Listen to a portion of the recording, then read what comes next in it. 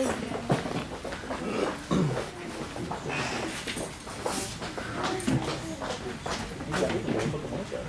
good morning. Hola.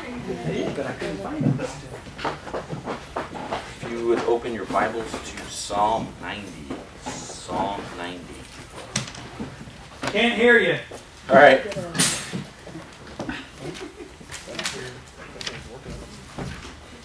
Psalm 90.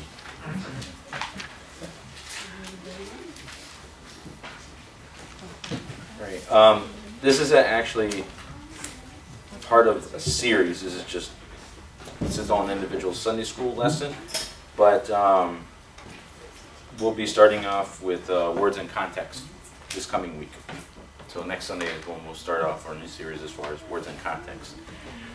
By the way, um, if you guys have any suggestions as far as stuff that you would want to study, uh, just write them out on a three five three by five card, or just mention it to myself or the pastor as far as things that you would want to have. Mention it to Charlie because I'll forget it. Okay. then just bring it to me.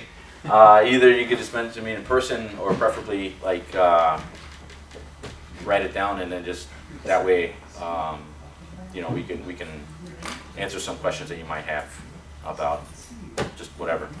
So um, anything that you would like to see covered or studied, just go ahead and let me know. So anyway, Psalm 90. Psalm 90. Uh, beginning in uh, just beginning verse 1, it says, A prayer of Moses, the man of God. Okay, Lord, thou hast been our dwelling place in all generations. Before the mountains were brought forth, or ever hadst formed the earth and the world, even from everlasting to everlasting, thou art God. Thou turnest to destruction, and sayest, Return, ye children of men. For a thousand years in thy sight are but as yesterday, when it is past, and as a watch in the night. Thou carriest them away as with a flood. They are as asleep in the morning. They are like grass which groweth up. In the morning it flourisheth and groweth up. In the evening it is cut down and withereth.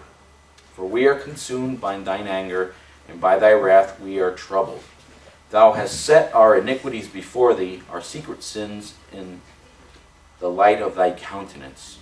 For all our days are passed away in, the, in thy wrath. We spend our years as a tale that is told. The days of our years are three score years and ten. And if by reason of strength they be fourscore, yet is their strength labor and sorrow, for it is soon cut off, and we fly away. Who knoweth the anger of, or excuse me, who knoweth the power of thine anger? Even according to thy fear, so is thy wrath. And then here are some desires that he calls out to God for. So, one, teach us to number our days that we may apply our hearts unto wisdom. Return, O Lord, how long? And let it repent thee concerning thy servants. O satisfy us early with thy mercy, that we may rejoice and be glad all our days. Okay, make us glad according to the days wherein thou hast afflicted us, and the years wherein we have seen evil. Let thy work appear unto thy servants, and thy glory unto their children, and let the beauty of the Lord our God be upon us, and establish thou the work of our hands upon us. Yea, the work of our hands, establish thou it. Right, so this is Moses' prayer uh, to the Lord. And we're going to analyze this. I figured this is actually, um, I had something different in mind as far as what I wanted to go ahead and cover uh, for today, but this is most appropriate, obviously, because this is New Year's Eve. We're going into a new year. and as a mindset and an attitude is what we should have uh, with regard to what we want God to do in our life and what we could actually learn from uh, what Moses expressed here as his desires for God. Okay, this is something, even though this is Moses, different dispensation, he's in the Old Testament, he's under law, uh, it's still applicable to us. Not only just because it's, you know, it's preserved and it's profitable uh, for, you know, doctrine, reproof, correction, instruction, and righteousness, but also because um, it's it's something that's uh, this specifically we well we'll see it, it's uh, just very appropriate for for our day and age here. Okay, so we saw, we see initially he starts off by praising God. Uh, he acknowledges God's character. He says of him that he's of old, he's of everlasting, um, or he's from everlasting to everlasting. He's he's been God. Okay, uh, he's been the dwelling place of them for generations. Spe- that's specifically addressing the fact that he's been Israel's God. Okay, so in other words, he's, yes, the God of all flesh, uh, but in particular, in his case, he's Israeli, so it, it would be the God, that's the one who formed the nation of Israel. He's been nation of Israel's protector. And then we see he turns, verse 3, thou turnest to destruction, or thou turnest man to destruction and sayest, return ye children of men. So in other words, God is one that is able to raise up to destroy. Verse 4, for a thousand years in thy sight are but as yesterday when it is past, and as a watch in the night. Again, this is referencing the fact that uh, God's not limited with time. In other words, he's, he's been of old, he's been of everlasting. Uh, he's, you know, been forever. We have a starting point he never has. And though our time is fleeting, and that's the contrast that he's going to bring about, is that our time is fleeting, his isn't. So he's not limited, he's not restricted by anything. We are. And that's what, that's, that's going to be the cause for uh, Moses' first request, is uh, the fact that we are fleeting. Uh,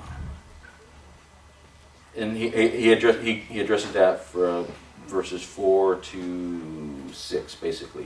It says, Thou carriest them away as with a flood, they are as asleep in the morning. They are like grass which groweth up. In the morning it flourisheth and groweth up. In the evening it is cut down and withereth. Okay, just a, um, the, the quick nature of our life. And now he addresses the fact his, omni- uh, his omniscience. Thou hast set our iniquities before thee, our secret sins, in light of thy countenance. And then, for all our days are passed away in wrath, we spend our years as a tale that is told. Um, God sees, God knows. We know that. Uh, and so he addressed particularly here as far as secret sins, but he also knows and sees that which is good. In other words, we normally uh, think of uh, God as like this big boogeyman, like oh, he's out to get me, you know. He's out to hit me. He's got the two by four. He's got the baseball bat ready to whack me or ready to shoot me down with a lightning bolt. And certainly, if we're in sin, you know, you ought to be afraid. Uh, but the fact is, there is mercy with the Lord. His mercy is of everlasting. And so the thing is, you can cry out to Him if you, you know, you repent. You can, you can receive mercy. Uh, he's He's merciful. That's that's who He is. That's His nature. Uh, but the fact is, we don't have to be afraid of Him. Uh, we're to draw nigh to Him. Uh, we're to be in close fellowship with Him. And though we may not, if we are serving Him, uh, be acknowledged by man, the fact is, God sees and God knows. Um, now He's going to address also the, the fleeting nature of our life. Uh, for all our days are passed away as uh, in thy wrath we spend our years as a tale that is told. The days of our years are three score years and ten, and if by reason of strength they be fourscore, yet it is strength Yet is their strength uh, labor and sorrow, for it is soon cut off and we fly away. Uh, I'm kind of tempted to ask this, but who here fits this category? uh, three score years and ten. okay. Almost Larry. Larry's like days away. Next, next year. Yeah, Yeah. a year away. Okay. So you don't got much time left. Well, I don't know that. I don't know that to be the case. I'm sorry. I'm not trying to be. Moses, Moses lived to be 120, so he Yeah, just. he did. but he, he does mention here is this by if by reason of strength they be four score.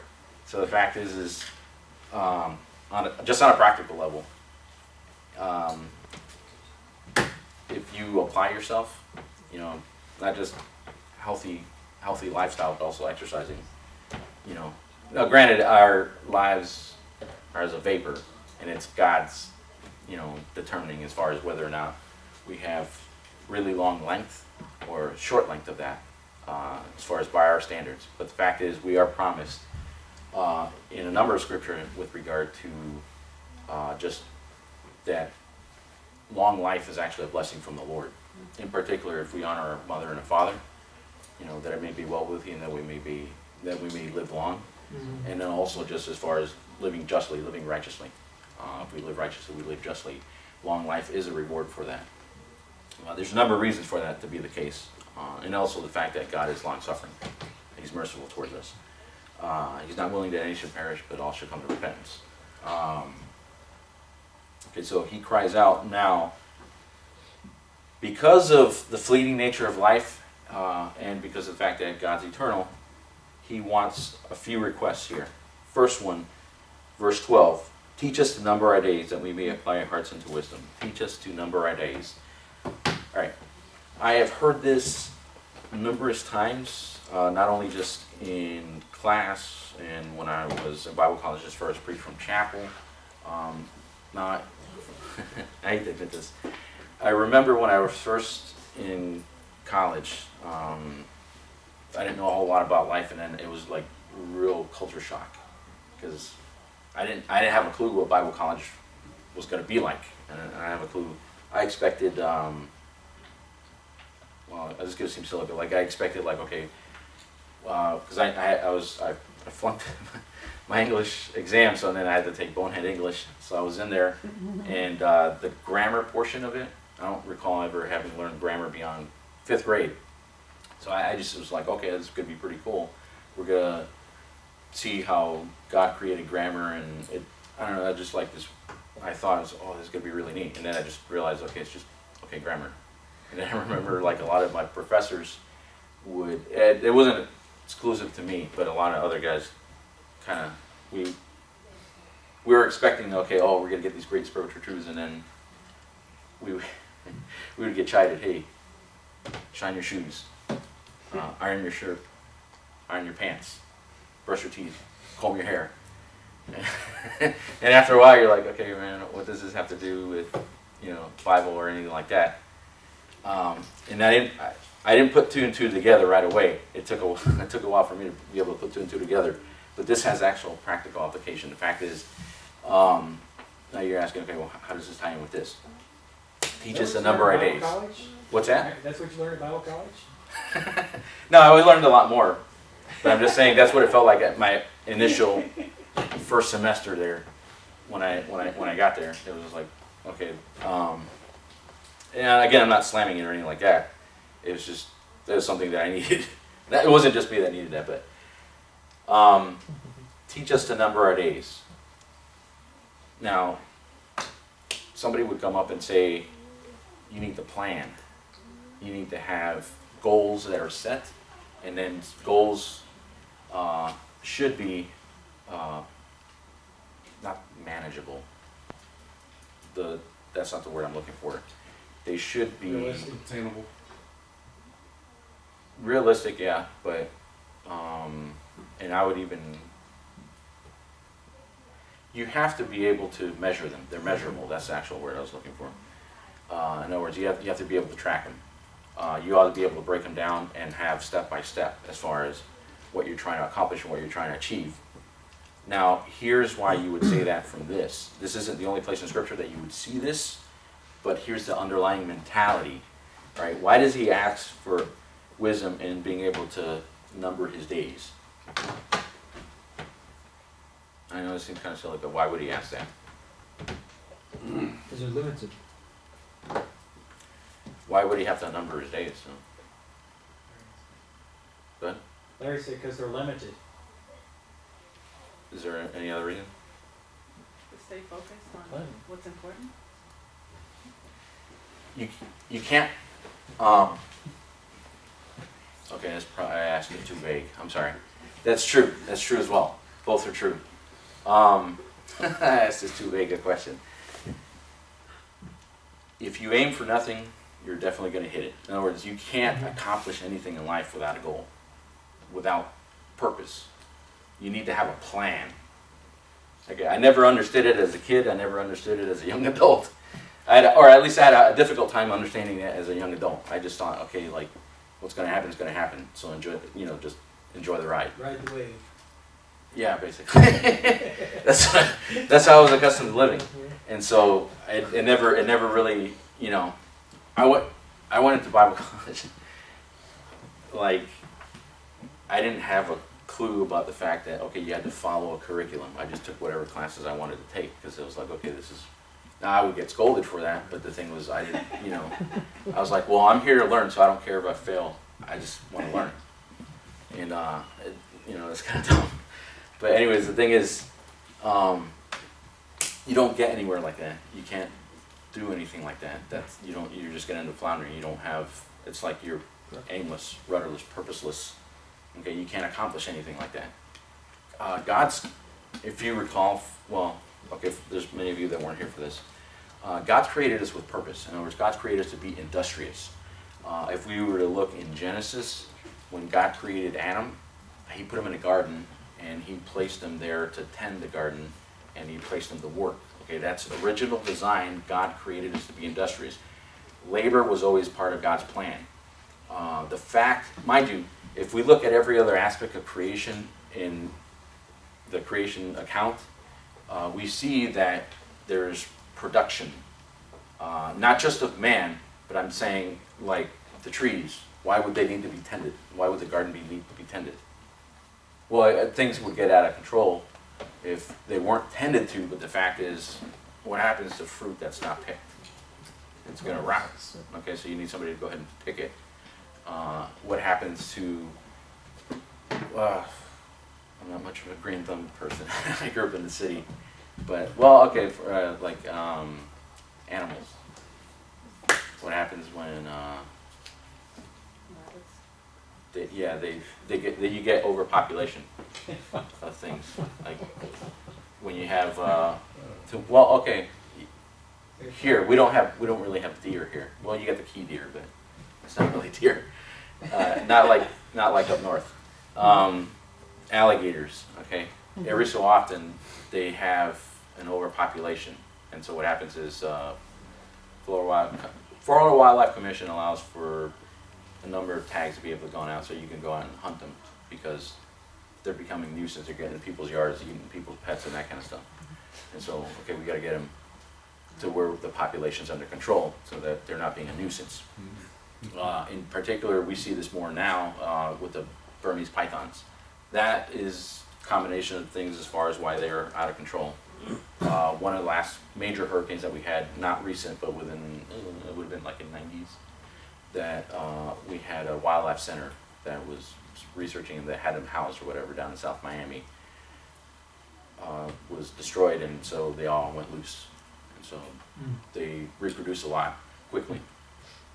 And then you also had people that would have them as exotic pets and just let them go uh, to the wild. So now you have an overpopulation, so they're eating up all the uh, regular critters that are around. So now they have like, it's basically like open season, you know.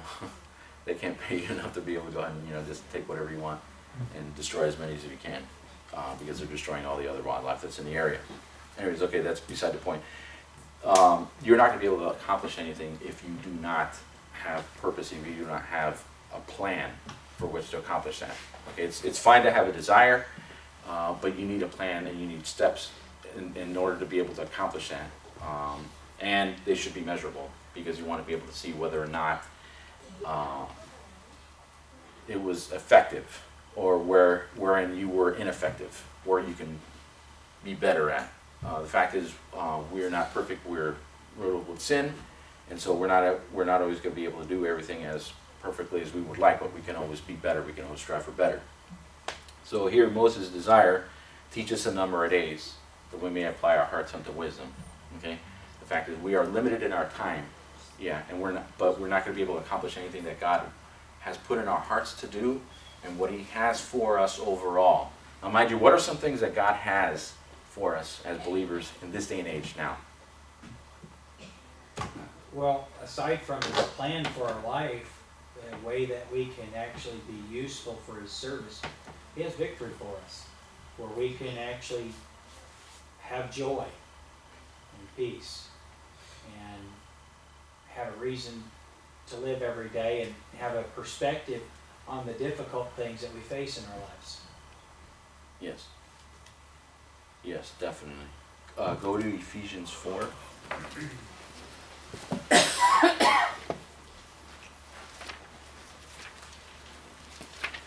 This is going to be like being a dead horse in a sense. Uh, not just for me, but from pastor's perspective. All right, starting at verse 11. And he gave some apostles and some prophets and some pastors, or some evangelists and some pastors and teachers. Verse 12, for the perfecting of the saints, for the work of the ministry, uh, for the edifying of the body of Christ. Now we can go on and we can see the scope of that, which is basically till Christ returns, right? Um, but uh, and if we were to go to 1 Corinthians uh, 12, 13, 14, uh, and then even in Romans 12, we would see correlated that we are members within a body. Okay, now he's given some, so now not everybody obviously is called to be a evangelist or a pastor teacher. Apostles and prophets are no longer standing, so the apostles and prophets now in this day and age are what would be the word of God. That's where they're preserved. But um, evangelists, pastor, teachers, he's given to some so that the saints through their ministry would be perfected, and now also he's given to them as far as I would you would venture to say to individual local church, uh, so that the saints, which is all of us, would be perfected or matured, so that we all would perform the work of the ministry together. So it's not exclusive to evangelists, pastor, teachers, work of the ministry. It's all believers work in the ministry, right? So God's desire, God's plan is that we would mature so that we would, now we see that also in Hebrews where he speaks of the fact that the Hebrew believers that were um, basically turning back to Judaism because of the persecution that they were experiencing uh, were not growing. They weren't allowing themselves to be exercised uh, by the experiences, by, by the hardship. In other words, God allowed the hardship in their life for, as a, a growing, maturing experience. And so um, they weren't allowing that to be the case. And so their senses were dull. So in other words, he couldn't speak to them. Uh, like in uh, 1 Corinthians 3, he, in other words, they were carnal. They weren't where they should be for the time that they had been saved. God expected to them, expected of them to be teachers. Uh, we go through uh, not just later on uh, in chapter four and chapter five, but also you look in, uh, towards the uh, end chapters of Galatians, and then also in Colossians, of the fact that uh, some of the responsibilities of individuals within the church, as far as older, are to teach younger. Aged women teach the younger women uh, to be sober, to love their husbands, to love their children. Uh, and you see countless commands of the fact that experienced Christians, maturing Christians, are ones that seek out ones that are might not yet mature to instruct them in the ways of the Lord. Okay, that's God's plan. Teaching them to observe all things whatsoever I commanded you. Um, and lo, I'm with you all even until the end of the world. That's God's plan, that's God's desire. Now, how do we fit into that?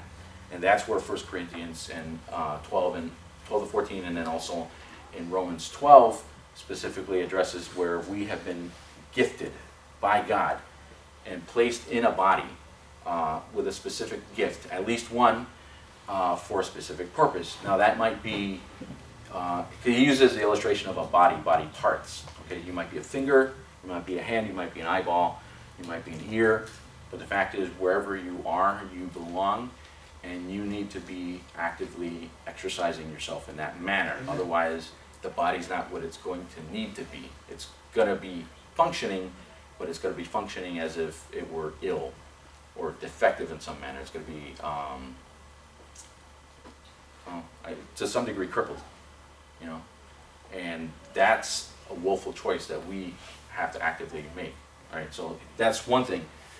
God's placed us in a body. He's gifted us, particularly so that we would act within that body uh, for the fulfilling of this in particular, and that is maturing of the saints for the work of the ministry. Now, work of ministry is twofold. It is reaching lost people for Christ, and then save people, which they we should be provoking one another unto love and to good works.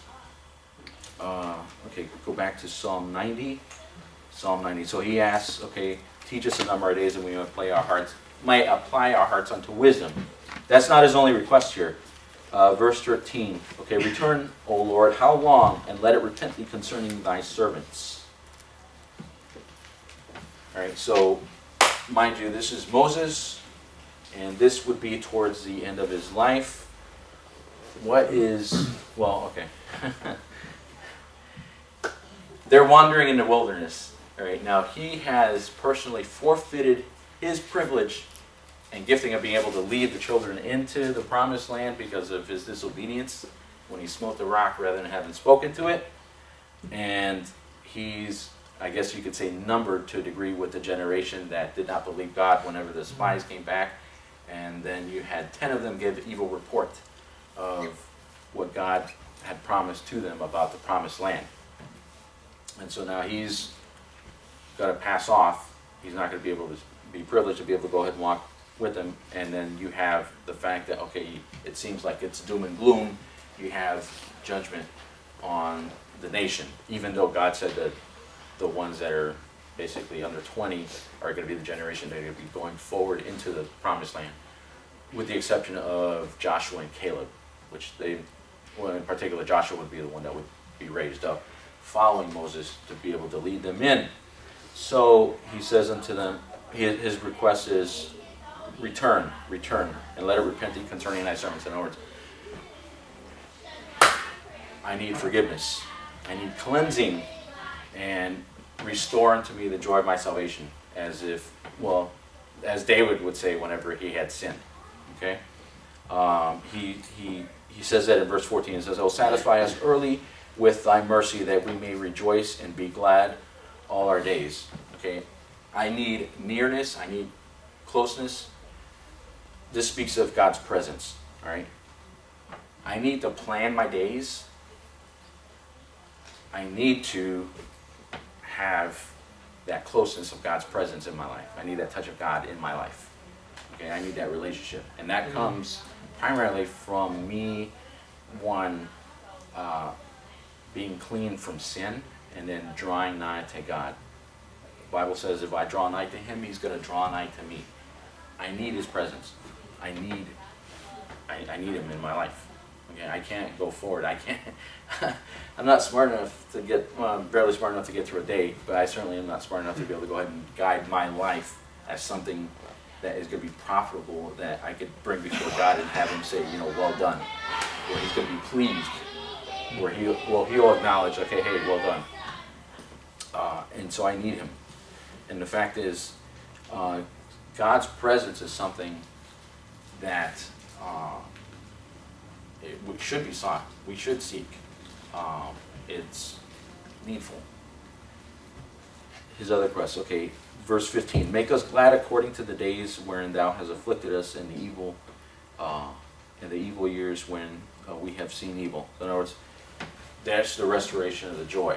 Okay, Lord, we've seen, you've chastised us. We've seen a lot of bad. Show us a token for good. In other words, I want to see you bless. I want to see your hand of blessing. Uh, now he's going to ask specifically for a few other things in, in regard to that. Verse 16, let thy work appear unto thy servants and thy glory unto their children. Okay, not just for them, but for the future generation. They need to see God work, and they need to see the hand of God, the power of God in their life as well. And so he cries out and he asks for specifically the fact that they want to see God. Um, what was it that, if you can recall, that Gideon had said to the angel of the Lord whenever the angel of the Lord came to him and called him? If I be a man of God, you know, why, if I'm a man of God, I'm a mighty man of valor, then why are, why are we hiding? Why, you know, why am I hiding? I, I believe he was harvesting, right? And he was trying to, he was trying to hide his harvest so that it wouldn't be taken by the, He was yeah he was harvesting in secret yeah yeah. So he's like, if I'm such a mighty man, why am I sneaking around harvesting? I believe, I, I wanna say, I recollect yes that. okay yeah So, yeah he did say that that wasn't the answer you're looking for.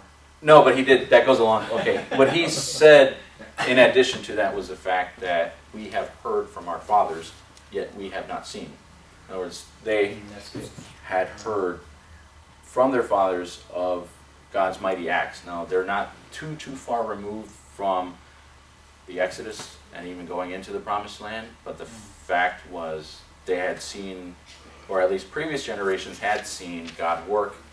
They're in present in bondage to Philistines, and they can't even have weapons. They don't even have weapons. They don't have the ability to be able to have weapons. Uh, and so here we are mind you, children of the living God, okay, the nation who has God's laws, who else has that? Who exclusively has ability to be able to have access to the presence of God, We do? Believers. Well, yeah, yeah, this day and age, back then, Nobody. yeah, nobody else did, only Israel, right? Well, we do now because we have the blood of Christ if we've been born again, okay? So we're covered by the blood of Christ, and we're able to go into the holiest of all, and to the throne of grace. Uh, and mind you, he, you know, he wants us to come, he wants us to come boldly. Mind you, boldly is freely with access as if it were my own place. Right, so uh, nobody else had that. But his his cry to them was the fact that we haven't seen this. You know, our fathers have said of you, but we haven't seen this. In other words, his cry to them is, God, show us this. You know, okay, for our day and age, well, we don't, well, I shouldn't say we don't so much here, uh, but if, uh, well, okay. I recall, uh, again, this is a slam against anybody. I recall like being a baby Christian in my home church and hearing of all these great men that were greatly used in years past. And um, I didn't know anybody from Adam, you know, so somebody mentioned something. I personally like history, so I just, okay, in my notebook, write down a name, and then I go ahead and read about, okay, wow, that was really neat that they had these uh, great citywide campaigns where it seemed like like the whole city came out and got saved, you know, and then you'd have like, um, you know, bars were shut down, um, brothels were shut down, you know, and then it was like, you, yeah, you had op- op- opposition from St. obviously, and you had a lot of people that uh, suffered uh, some pretty bad things. But the fact was, it was like, man, you know, God's God's moving in a great way. Uh, or you see just the fact that, like, even firsthand, where, um, you know, we were praying for somebody. This dude was, you know, really militant atheist, or he was really militant anti-God, and all of a sudden it's like God gets all of his heart breaks down just because we were praying for him, uh, and then he gets saved, and or you just see, wow, boom, uh, somebody on a mission field like a, a Bob Hughes or Rick Martin, okay, well those guys in the Philippines, okay, see like I don't know hundreds of thousands, of scores of people just saved. Uh, it seems like uh, anywhere they go, it's like boom, you know, scores of people getting saved all over the place. Uh, and so now here it is. It's like okay, we're here, and uh, again, this isn't a slam at anything or anybody here, but like I'm just saying, all right, where are the droves of people? okay, when we go knocking on doors, I mean, how many do we come across before we find somebody that's actually like really receptive, that actually wants that'll let us go through the whole gospel plan, hmm. and then even then, as far as that are like, you know, hungry. Yeah, again, I'm not, I'm not trying to be critical or, or saying anything negative, but then it's like, okay, you want to, you hear of that, and it's like, okay, you want to see that, but at the same time, it's like, okay, wait a minute, God, you, we're not limited.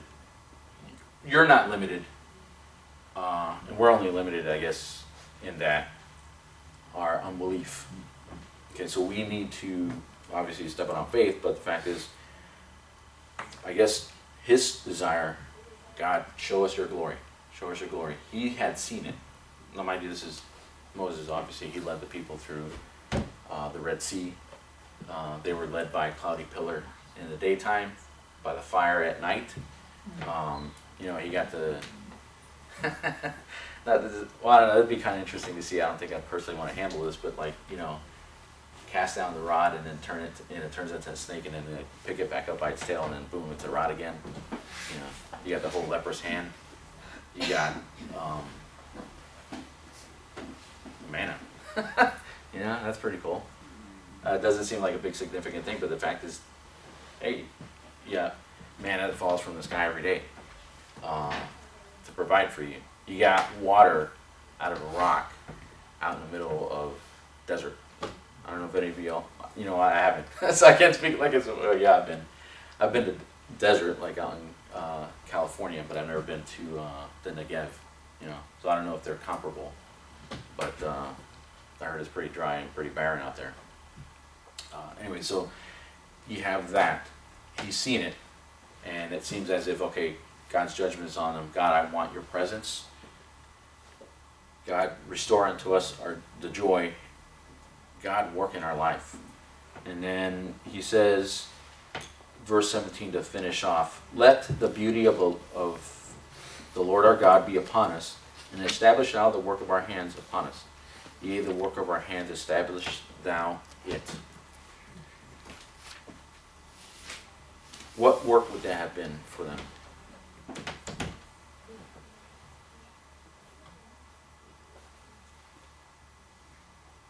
This is Israel in the wilderness. They haven't even gone to the promised land.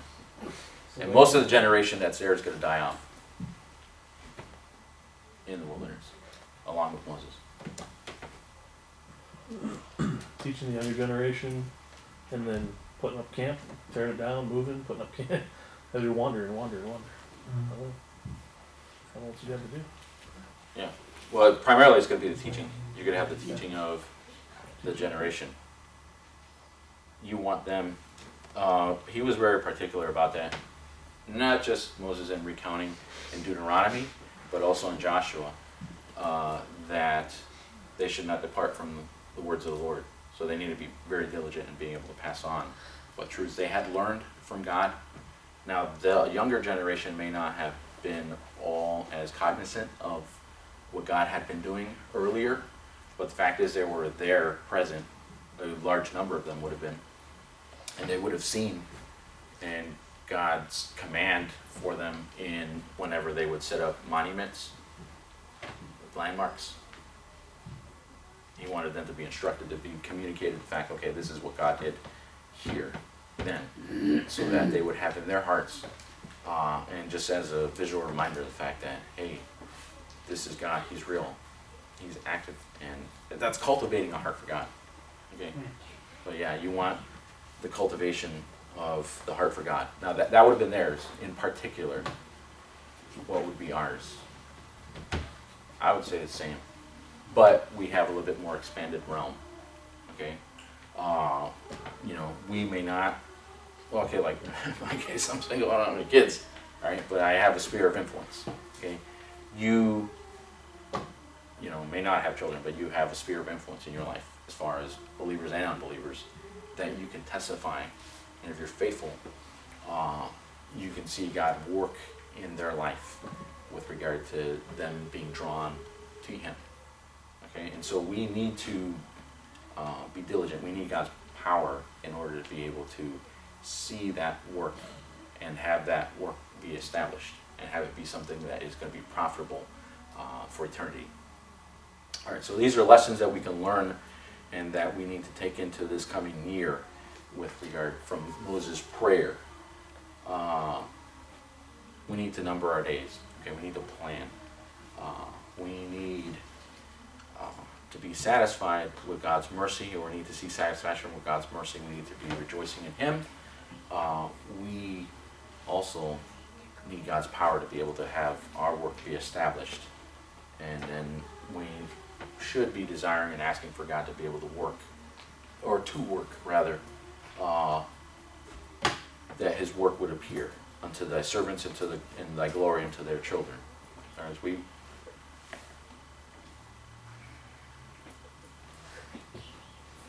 turn to Hebrews 11.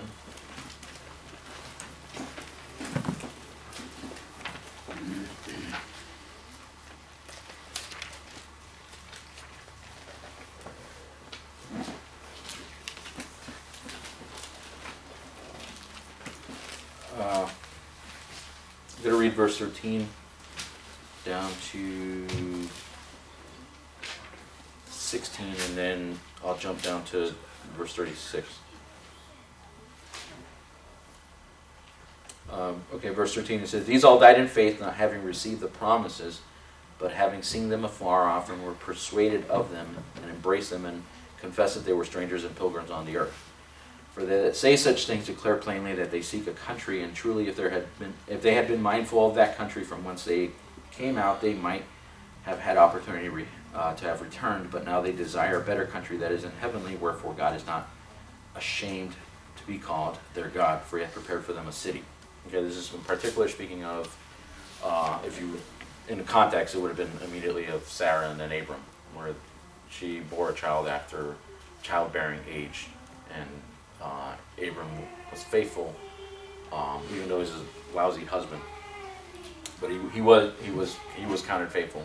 He believed God in his uh, counted righteousness, and then also he he did believe God, and he was um, he he saw his child born, but he didn't actually see as the sand of the seashore or as the stars in the sky, as the stars in heaven would be born. He saw it in faith, but he actually practically within his lifetime see it. And then you have Sarah, the same thing, uh, and any number. Now he says of them, they died that way, but God was not ashamed to be called their God because they believed him. In other words, they were faithful. All right, verse thirty-six. Uh, and others had trial of cruel mockings and scourgings, yea, moreover bonds and imprisonment. They were stoned, they were sawn asunder, were tempted, were slain with the sword. They wandered about in sheepskins and goatskins, being destitute, afflicted, and tormented, of whom the world was not worthy. Okay, they wandered in deserts and in mountains and in dens and caves of the earth, and all these, having obtained a good report through faith, received not the promise. Okay, God having provided some better thing for us, that they without us should not be made perfect. Okay, so now this is a second category. He had just uh, delineated, if you look in the context a little previous to 36, a number of folks that did actually receive promise. You know, uh, the mouths of the lions were stopped. Uh, you had uh, righteousness that was in kingdoms. Uh, dead receive, or the dead were raised to life again, and a number of other different. Um, and some time would fail would fail me to tell you of and you could go on and on and on as far as like people that actually receive great answers to prayer and great amazing work of God. Then you had a second category of people that died and were miserably treated and uh, didn't receive any of that stuff, right? That's not something that is, I guess you could say, desirable, humanly speaking, to be in that category. But here's what God says of them. He says of them that they were not worthy and he's also, I guess you could say, alluding back to verse 16, where he speaks of the same people that didn't receive promise in their lifetime. He says of them, he's not ashamed to be called their God. All right. How does this apply to this Almighty? All right. We want to see God's power. It's almost like we need it so that we can have, it's a desire, it's a strong desire. Um, but the fact is, we live by faith. That's not saying that God can't work, or God's not going to work, or that's a cop out. But the fact is, uh, the truths in this book are real. We need to live as if God's going to answer and work in this manner uh, passionately, right? Because if we don't, uh, we're not going to be pleasing to God. Uh, Without faith, it's impossible to please Him and we're not going to be able to communicate or transfer not just the truth that's been entrusted to us, uh, but we're not going to be able to. Com- uh, that's that's really the heart of the relationship as far as our walk with God. Right? He's real, and I I, I take him at his word. Uh, th- that's Christian life in a nutshell. I mean, that's that's the basis. That's yes. uh, just gonna add that, you know, going back to tying in what you've been talking about, a key word in there that you use, cultivate, is really critical, because the number of days, you know, even if you do everything right, say you, you do have a soul winning, uh, schedule, you go out, you feel you're uniquely gifted, you, you do all these things right, and you still don't get the results. That just being one area, or, or another area like, and now it's coming towards the end where, uh, what you're, you're, you're af, uh, talking about here is, that's what separates genuine faith, true faith, from emotional. you gotta cultivate and as your journey as a Christian to mature and go through all these things, cause you, you, you, it's not enough, uh, uh, to believe. You, you have to nurture and cultivate your, your walk with the Lord and the learning of it and Yes. keep, keep that moving forward. That's where you get the genuine, because the, the hard times come, the tough stuff comes. Even when you do things right, it's not working out. Well, what keeps you glued to, to, to your faith your, in, in God is the knowledge and the, the working and being in the book and devotionals and all that stuff that you've cultivated all along. Yes, sure, yes. Very good point. Thank you. Thank you for that. That's the truth because the fact is, um, I mean, ultimately I'm responsible for me, but the fact is, those within my sphere of influence, uh, when we stand before God, well, not just me, but I would hope, uh, uh, to be all of us, we want to be said as far as, okay, yeah, not only yeah were you faithful, but this, you know, they tasted, they tasted of God, they tasted and saw, you know, His goodness, His power, His might. Now Moses actually got to see it, but there was others that they may not have experienced it in their life, but they did see it as if, and that's that's that was what he was getting at in Hebrews 11, and that's why okay, the world's not world's not worthy, uh, and they uh, they're God's not ashamed to be called their God, because the fact is, it's, he's just as real to them in just the reading of the words as he was in the actual acting out or the action of it. And so the thing is, God, that's how that's how we're going to be pleasing to God, and that's how this year, uh, if we take this, uh, they take these truths, are going to be where this year is going to be, uh, you could say, life changing, not just for us, but for those within our sphere of influence, where we can actually make uh, eternal impact. You know, where you know God, God's going to reward and God's going to please, or God's going to be pleased. All right, does anybody have any questions or things? All right. If not, uh, next week we're going to be going, starting our series on uh, words in context. And then if you, again, if you have anything as far as you would like to see covered or addressed or whatever, uh, just let me know. And uh, you're dismissed. Thanks, Charlie. Sir.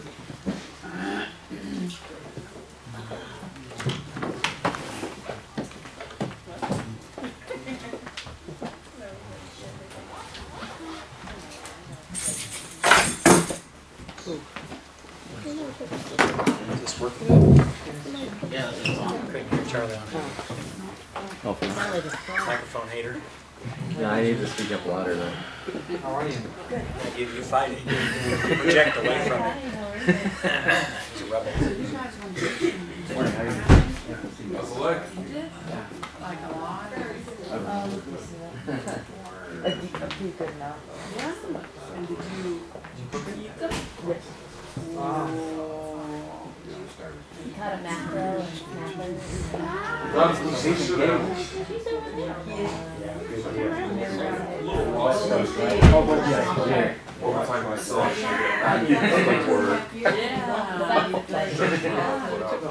Yeah. Back in West. It was a nice adventure. Good for him. I got, um, there's toys. Yeah. You know, we need, we need people to just circle the word, love the A lot of Lord. fun. We need some, we need some selection for church planting. Just want to be faithful to the Lord.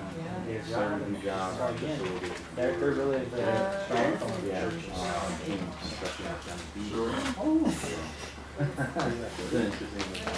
Yeah. Where'd you get that? Huh, how you driving back and forth?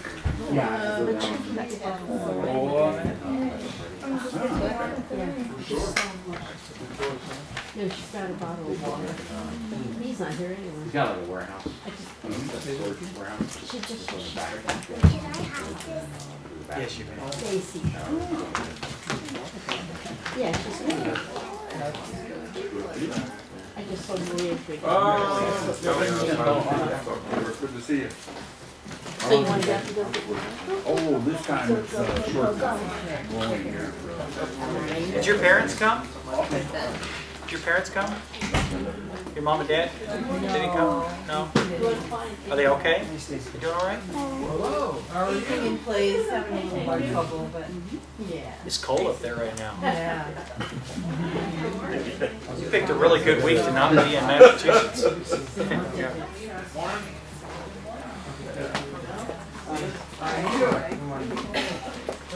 Hello, how are you? This is available. Oh, oh okay. He put his jacket here. If you had a beer and. I, You